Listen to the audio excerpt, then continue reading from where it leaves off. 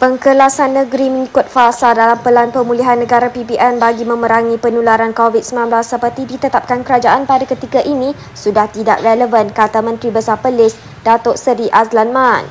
Beliau kata di Perlis sendiri, pengkelasan mengikut fasa PPN sudah tidak lagi relevan. Sebaliknya, tumpuan perlu diberi kepada imuniti kelompok menerusi vaksinasi. Beliau berkata kepada media selepas menghadiri majlis perasmian Hari Sukan Negara peringkat negeri pada 9 Oktober.